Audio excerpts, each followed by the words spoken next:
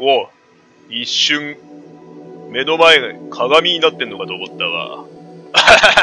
はい、失礼。はい、ご覧の皆様こんにちは。ホステルと申します。今回からですね、年末最大の話題作とも言える、ジャッジアイズ、死神の遺言、こちらをプレイしていこうかなと思います。俳優の木村拓哉さんが主演ということで、かなりの話題になりましたね。発表されたの夏頃でしたっけ？で、もともと購入するつもりはなかったんだけど、プレイしていたゲームが予定よりも早く終了したんで購入しました。もともとね、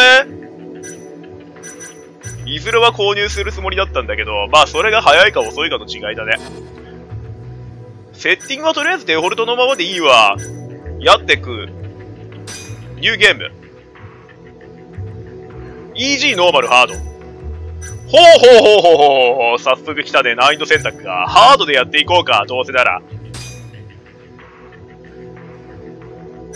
これどうすればいいのかな？画面的にはちょっと明るい方がいいんだろうけれども、少しだけ明るくしよっか。オートセーブ機能をオンにしますか？とりあえずオンにしておく。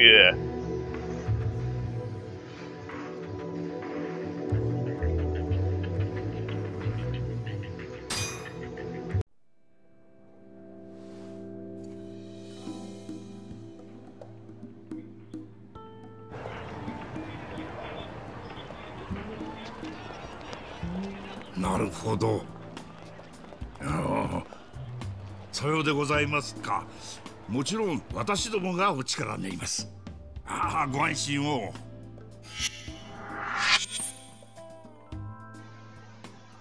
源田法律事務所弁護士源田隆三。ああうちの八神をですか。いや大変恐縮なんですが彼は先々まで手一杯でしてね名前が悪そうなんだけど。で、この人が主人公で、八神隆之ね。はあ、いつまで続くんだろうな、この八このキラリと光る弁護士バッジ。なあ、沙織ちゃん。源田法律事務所です。ええ、八神は弊社の所属弁護士です。白崎沙織へ。またご指名か。みんな無罪取れる弁護士がいいんだとさ。美しき弁護人なんだ嫌味か。新谷正道。新たにますよ。あの裁判はまぐれもあったってのに。当たり前だろ。判決の99%が有罪ってんだ。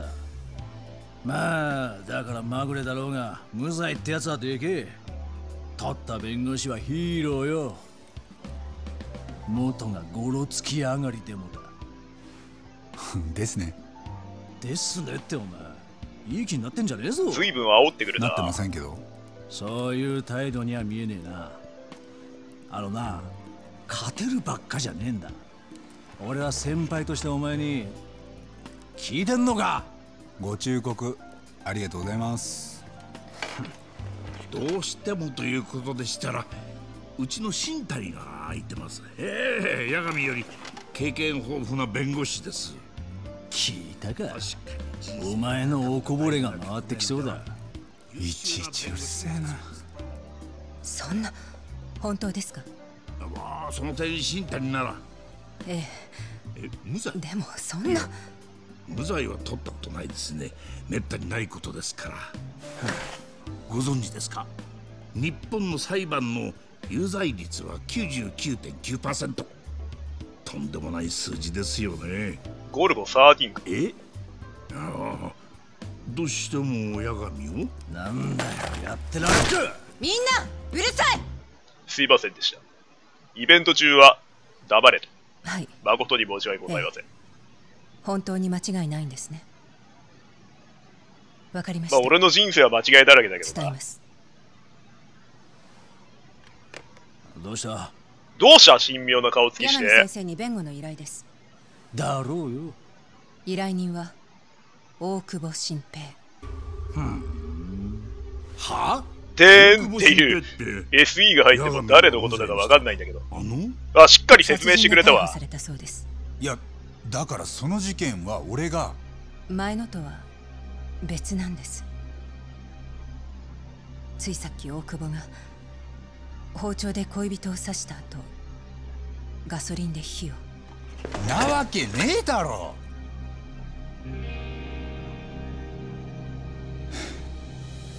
恋人を刺したって大久保君がエミちゃんをそんな知り合い？どういうことだ？なんでだよ。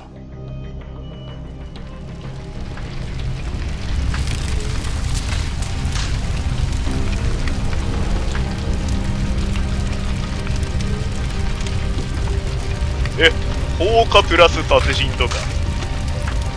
死刑待ったなしなんだけど。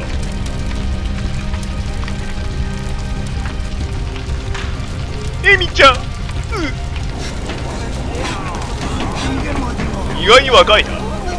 犯人の身柄を確保どいて建物から離れて離れなさい。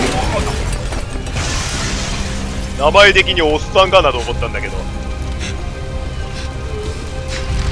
若くてイケメンだったわ。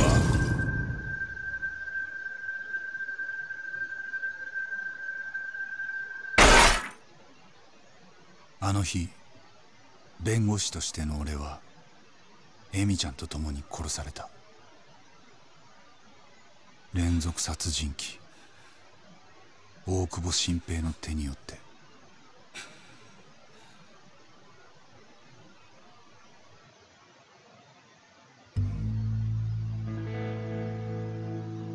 もう物語がここから始まる的な感じか。で、カムロ町は竜が如くシリーズの舞台と一緒だね。竜が如くのキャラクターとかも出てきたりするのかな。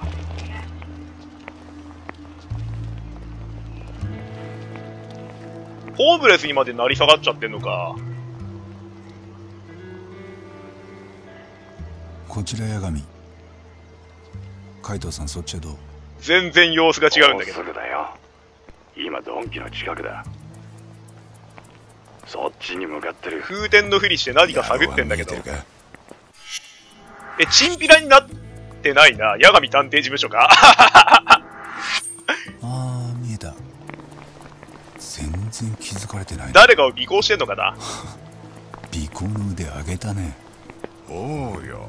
我ながら自分の才能が怖え。そりゃ言い過ぎ。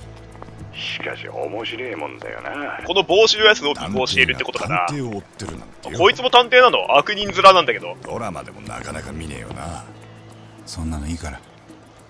慎重に。このホームレスの姿は変装っていうことか。こっから俺も後ろにつく。おう。おっさん邪魔邪魔。来たな。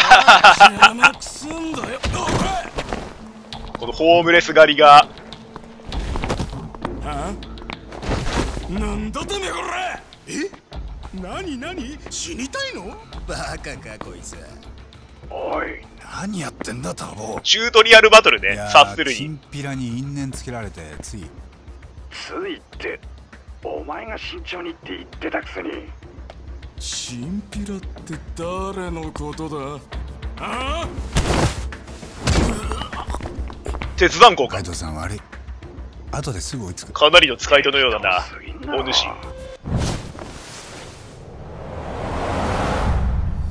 だけど喧嘩でこの構えはちょっと痛いわ。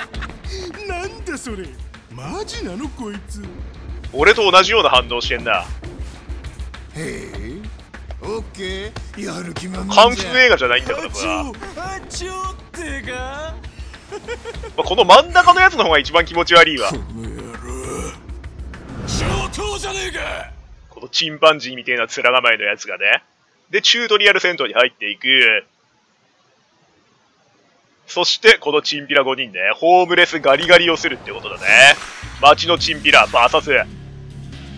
さあ、戦っていくぜ。お、コンボが出てきたね。こう、こう、こう、こう。めっちゃスタイリッシュなんだけど、なんだこれ？カポエラ使いか攻撃を防ぐ。L 版でガードすることができます。体力ゲージは左上。しっかりとガードしてくださいと。あ、ガードしないといけないのか。早く攻撃してきてくんない ?R1 で構えながら L で移動と。この辺は竜が如くと、操作一緒だね。まあ、とりあえずチャリンコ使おっか。R1 で構えながらバツボタン攻撃先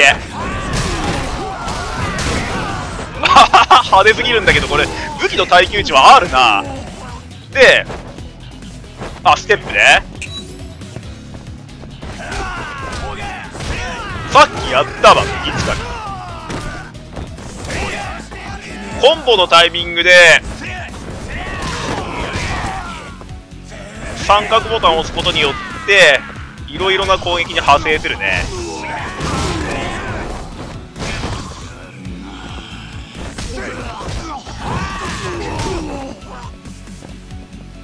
まあとりあえず物つかみに行こう。このコーンを使って。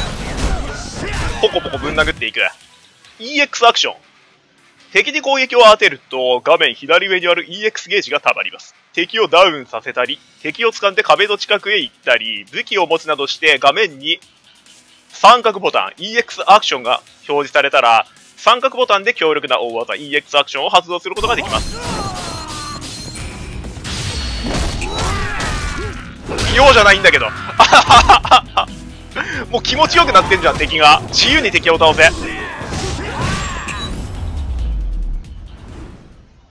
経験値100かな？右上が経験値？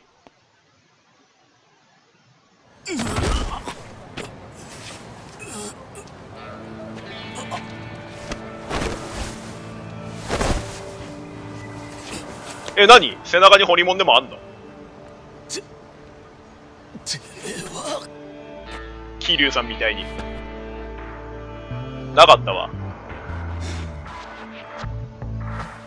終わったよ。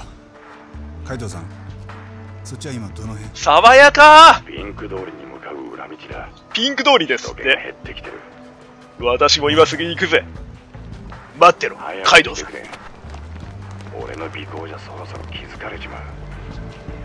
えこれはどういうこと？俺に尾行を交代しろっていうフラグか？ピンク通りの方向って言ってたな。念のためマップで確認してみよう。マップでピンク通り。はい。カムロ町の地理はしっかりと頭に入ってるんで任せてくれ。すっかり忘れたわ。ダッシュ移動で、バスボタンを押しながら、はい。あ、バツボタンを離してもダッシュし続けるんだ。へえ。ダメだ。もう尾行がバレる。俺は一旦離れるぞ。あと頼んだ。分かった。追いついてないって。しょうがねえだろ。とにかく急げ。女の子にはぶつかっていくスタイル。お前のせいだからな。うわそういうこと言う。このサラリーマンにドン引きされたんだけど。ピンク通りに向かう。尾行の対象は走ってたらまずいな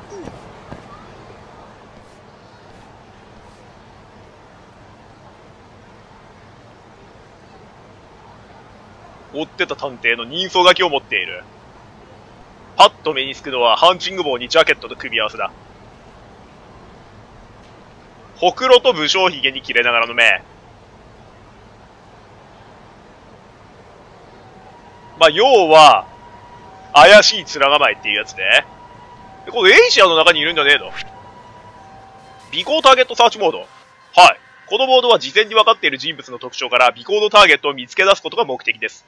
一人称視点でプレイします。画面の右側に表示されているターゲットの特徴を確認して、その特徴と一致する人物を探してください。怪しい人物を見つけたら、カーソルを合わせて R2 を入力してください。そうすると、その人物を注視することができますと。はい。調べるアイコンが出現する。出現している状態で丸を押すと、特徴が一致しているかどうかを検証することができると。一致していれば終了。はい、わかりました。え、この辺にいんの？あいつじゃねえのかこれは。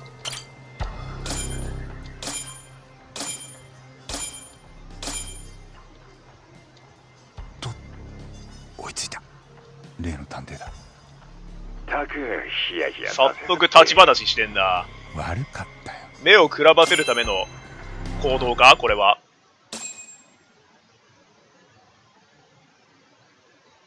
あ、これで尾行終了なの？もう。後ろついていったりとかしないでいいんだ。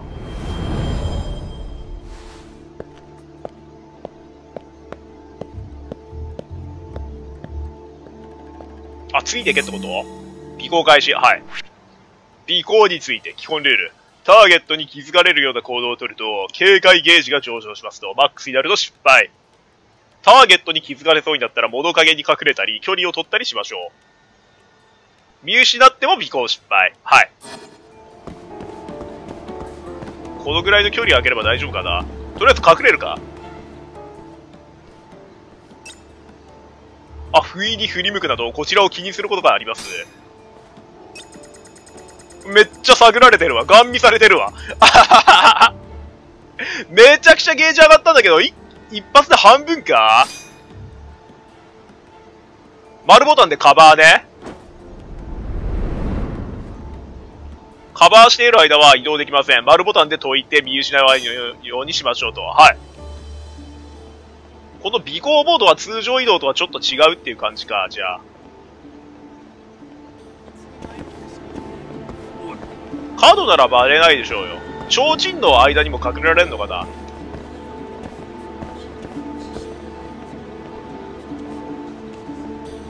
よし、行け。走れるか？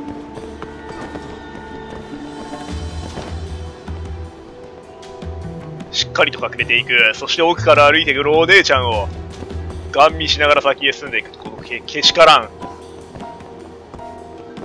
ぅたまんねえおっと、近寄りすぎるのまずい。チャンネルに気を取られすぎて、近寄りすぎるところだったぜ。ここ隠れらんないのか？隠れるボタンが出ないんだけど。やばい見る見る見るこっち見るちょっとちょっとあんた何？職務質問？そろそろ溜まった家賃払ってもらうわよ。もうちょっと待ってくださいよ。あと1週間だけ。本当ね。次はもうないわよ。はい必ず。さあじゃあテレクラに入るか。それじゃ。目つききつすぎるんだけど。やべえやべ。え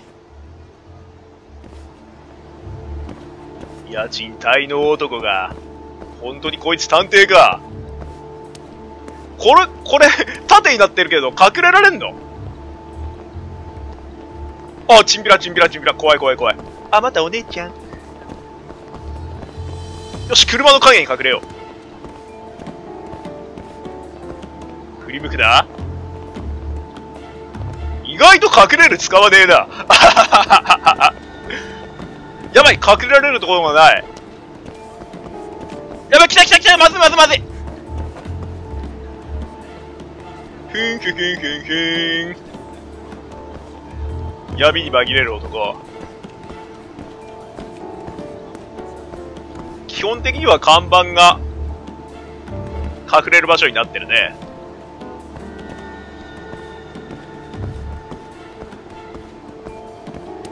なるべく隠れられそうなところを探りながら後をつけていく。明らかに無造無造のサラリーマンだらけのところに置いて浮いてるんだけど。目立ちすぎだわ。こう革のジャケットで決めてるような人ね。オーラが違うもん。普通尾行するんだったらさサラリーマンと同じような。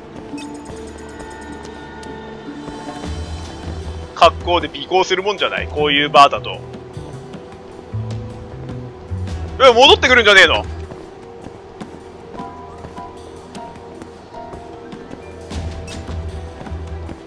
やばい戻ってくるわえ見失ったどこ行ったあいたいたいたいたいたいるわ帽子のやつね白い帽子のやつえ今今見えてんのか今ので見えてんのか隠れるを解除した瞬間に看板透けてんじゃねえの女の子めっちゃ引っかかってるんだけど。海藤さん探偵はチャンピオン街の方に向かってる。チャンピオン街か。あそこが入り組んでるぞ。うんそろそろ目的地ってことかもな。よし。鳩飛ばそっか。空からも追っかけよう。何？ドローン？ドローン使うってか？カイトさん先回りしてスタンバっといて。分かった。任せとけ張り切りすぎてまた壊さねえ？あれ結構済んだからさ。いいから。お前は探偵見失うなよ。チャンピオン街か。カムロ町のチャンピオン街っていうと、ちょっと人気が少ない、飲み屋街みたいな、裏路地のね、雰囲気のところなんだけれども、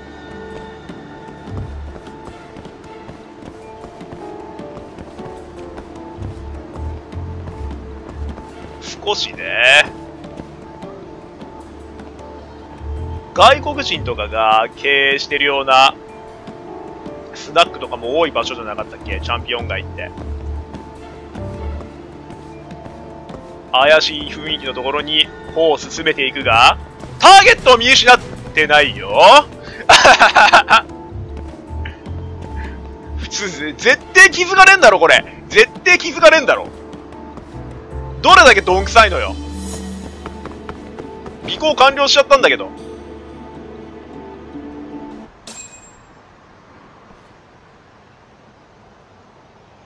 カイドウさん探偵はチャンピオン街の空き地に入ってたあの先は行き止まりだ今追ってったらバレるねやろうそんなとこに何の用だやばいぞ、これ。何かの取引じゃね人に見られたくない待ち合わせつうことはこの通路を使ってくるしかねえんじゃねえか。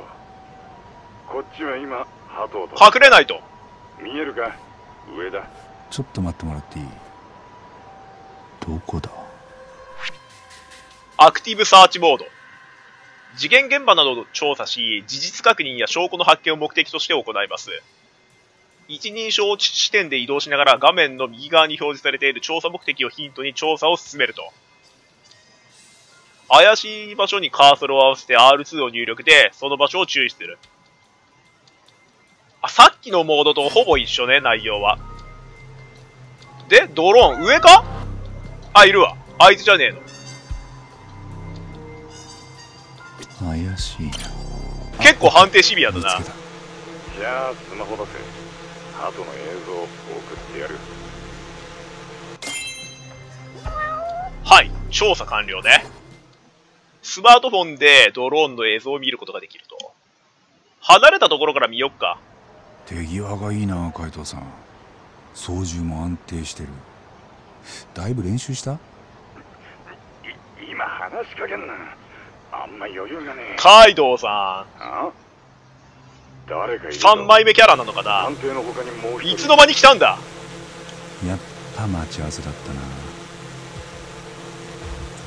見た顔だ確かカムロ町で競馬の飲みやってる。飲み屋ってことはあの探偵。借金も返さねえで博打か？世の中舐めてんな。それよりわざわざこんなとこで飲み屋に会うってことは多分金の受け渡しだ。ん？つまり今なら取りっぱぐれがない。俺らのミッション何だったっけ？探偵の借金取り立てなるほど踏み込むなら今か見てな人稼ぎしてくるよ よし行ってこいタホしくじゃねえぞ荒れそうだな。また喧嘩か。空き地に踏み込む。あの、退路塞がれてるんだけど、チーズバツになってんだけど、いけないんだけど。奥にも行けないし、戦うしかないってことか。とりあえずジュースでも飲んで一服するか。買えねえわ。回復アイテムがないと不安なんだけど、先行きが。ハードモードだし。ハード選んだよな。どうもいい夜だね探偵さんなんだ？カムロ町の飲み屋はサービスがいいんだってね当てれば配当は1割増し外した馬券の1割は客にバッえ、超割よくね、それ。ギ。ャンブル好きにはありがたいよな。俺も今度やってみようかな。あれもう行っちゃうの？まだ探偵さんから金もらってなかったでしょ。なんだお前。誰なんだ？同業者のくせに知らないの？そのまた客があんたに金返してほしいってさ。飲み屋から馬券買う前にね取り立てのチンピラか。よく俺をつけれたな。チンピラとはご挨拶だな。俺はあんたと同業者。探偵ってことか。うん。あんた逃げ足早いんだって。でうちに依頼が来たってこと。今持ち合わせがあんのも確認済みもう逃げらんないよ。さおとなしくし払うもんっかりとドローンで諭吉さんの存在を確認させていただきました。確かに持ち合わせは。早く出せ。でもな返すのは馬でもっと増やしてからだ。それまで待っとけ。なくなるやつの上等文句。よくそんなずうずうしい何発煙筒持ってんだけどなんでそんなもんカイトさん奴が逃げた目くらましか。見てたよ何やってんだお前ピンクの生めかしい煙を吐き出して、絶対逃がさね発煙筒が火を上げる。追いかけパートか、チェイスね。自動で目標に向かって走ります。行く手を遮る障害物にぶつかると距離を離される。ライトスティックでの移動やボタン入力で避けつつ追いかける。わかったあ、自動で走ってんだ。障害物を越えていく。工事現場も抜けていく。そしてボタンを押しながら障害物を越えつつも、飛び降りて転がるのかっこよすぎ。ライトスティックで。押したべ、今。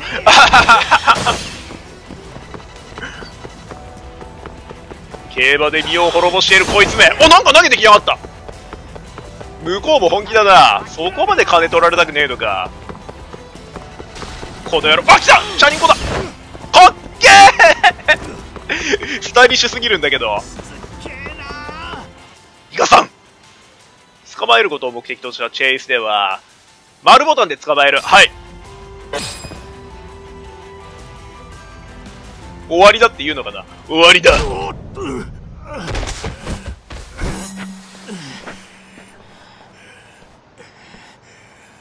の野郎。往生際が悪いよあんた。うるせえ。俺にはな俺の返済計画があんだよ。こい本当に探偵か？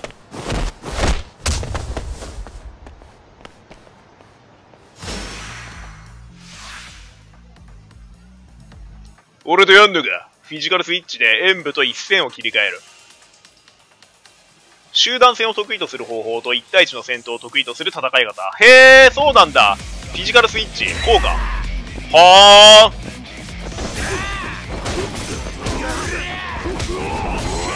あかっけえ憲法使いになってるんだけど流派を切り替えることができるってもう弦が何かかお前はボス扱いかえガードしてるんだけどあ反対いつの間にか反対無理だわ怒涛の連続攻撃で。天の攻撃で大ダメージを与えていく。ガードを崩しながら。おおかっこいいかっこいい。そしてかかと打ちで落としで追い追い打ちしていくスタイルで。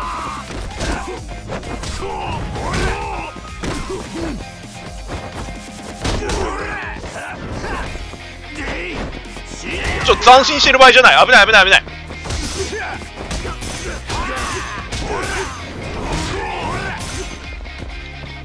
ちょっと掴んでみよっか。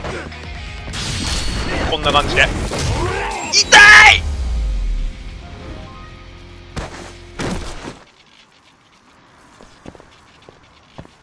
ギャラリー拍手して。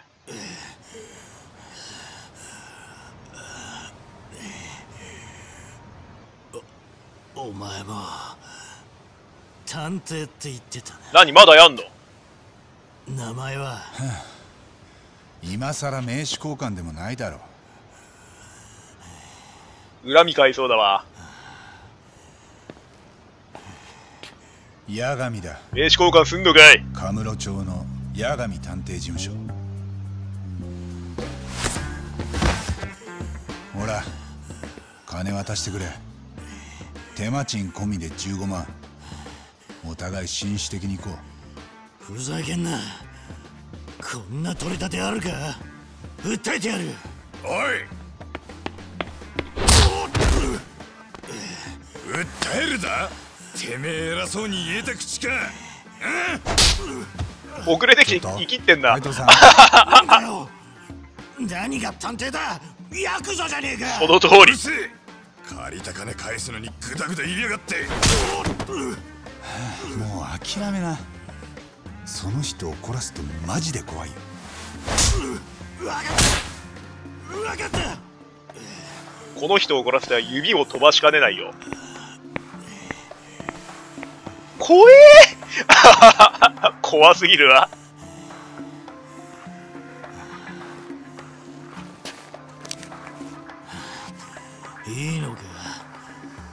金取ってくならマジで訴えるぞ。見ろよ。鼻の骨が折れてる。鼻血が出てるだけだよ。だいたい先に手出したのそっちだろ。いやお前が先に殴った。訴えたら間違いなく俺の方が。なこれ弁護士バッジ。お前探偵なんじゃ。どうする？本当に出るとこ出る？でもやっぱ相手が悪いと思うよ。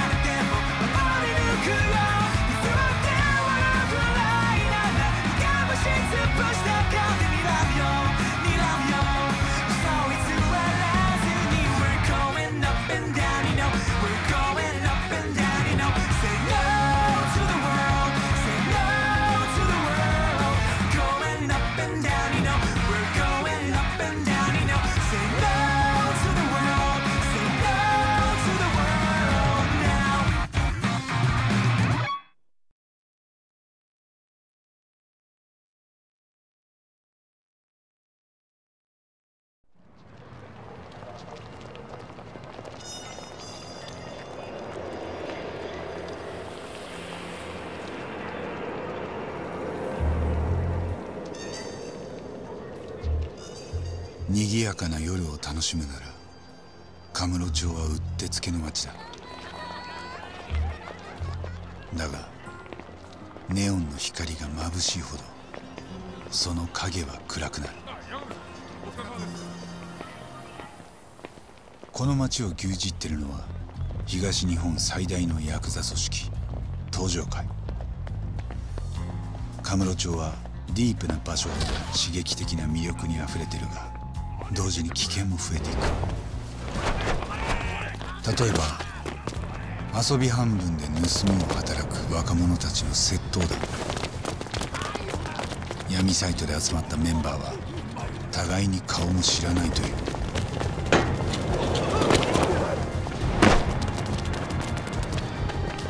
警察はまだ彼らをただの一人も捕まえられてない。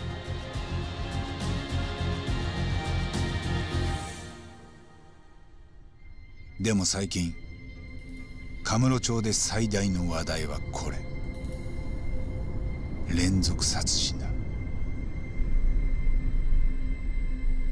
この3ヶ月の間に関西から来たヤクザが3人殺された。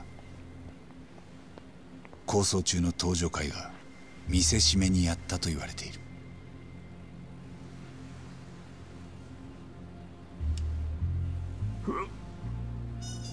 つも目を売られてますね。3人のヤクザの6つの目玉は未だに見つかってない。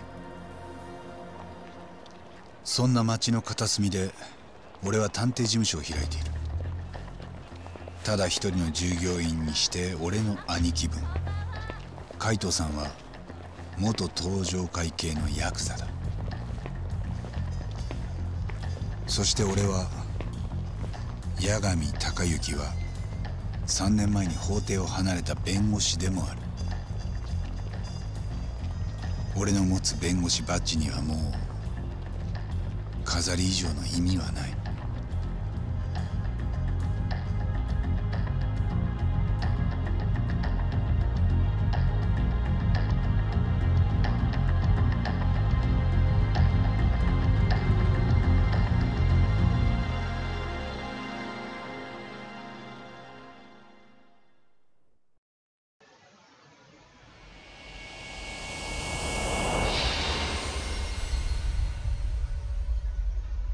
ター1、モグラ。察するに連続殺人の調査？窃盗団の追跡？もやればいいってことなのかな？このゲームの目的。質素な生活だな。なんでピンボールがあんのよ？これ今月分の給料ね悪いけど残りはなんか少なくね？お前の取り分は？いやこいつは依頼人に渡す分だし。な俺の分はまあそのうち。そっか。また源田先生のとこに行ってみるわ。なんか仕事ないかって。あそこの法律事務所。最近暇そうだぞ。ちゃんと仕事してんのか？あのちょい悪親父。うちのお得意様にそういう言い方はやめない？なら古巣だからって手ぶらで行くなよ。菓子折りぐらい買ってけ。ちゃんとカッコつけろ。なんか苦労かけるな。それは言わない約束だろ。お父っつぁん。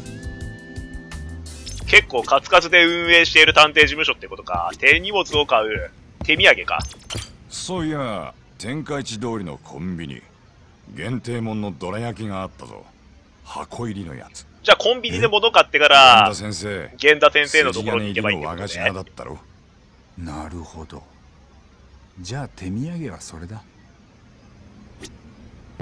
コンビニで買ったものを手土産にするとか。あはははこれで遊べないのかな。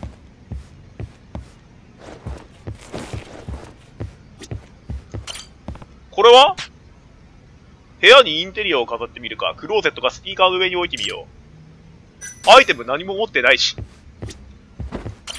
聞く。レコード。レコードプレイヤーが設置されています。レコードをかけることができます。BGM を変えることができると。なるほど、なるほど。セーブポイントとかないのかな、ここ。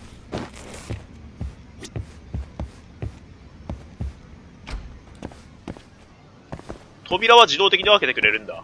へえ。オープニングムービーかっこよかったね。今回そしたらそう、この辺にしておいて、探偵事務所から出てドラ焼きを買って、源田先生のところに行く目的は次回やっていこう。はい、それではご視聴いただきまして誠にありがとうございました。では、失礼いたします。